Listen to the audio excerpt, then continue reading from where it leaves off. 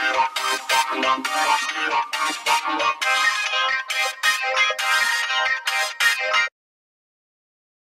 Hello, my Game and I'm back in the video. Now, the reason why there hasn't been many videos uh, recently is because, well, there's two reasons really.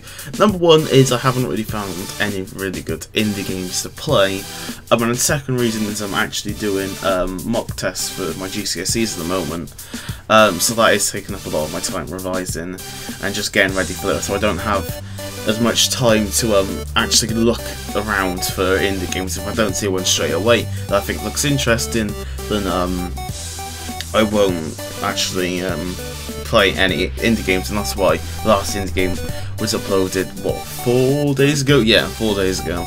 Um, so, not bad on the channel, but just want to let you know that um, there is going to be less, less videos for the next about week or so. Um, if I do see if a game does look good, I will obviously try to play it um, because I love my channel and I love um, doing videos on brand new games. Um, anyway, I just wanted to let you know um, if there are any videos whatsoever, there are any videos you are whatsoever to play, if there are any games whatsoever to play, please comment down below. As I say, every video, make a like, comment and subscribe and I'll see you in the next video.